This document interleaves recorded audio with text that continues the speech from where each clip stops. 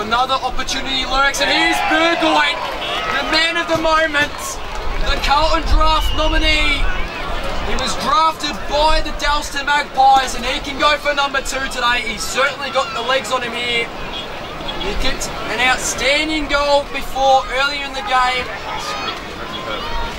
Shaun Burgoyne, Mr. Silk, 50 out. That's looking almighty good. He's got it. Guys run out to him. Shaun Silk Burgoyne, take a bow. A legend of our game.